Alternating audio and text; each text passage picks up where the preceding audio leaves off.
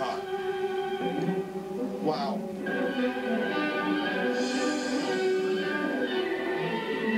Ooh, unbelievable how hot that is. I feel like I licked a sea urchin.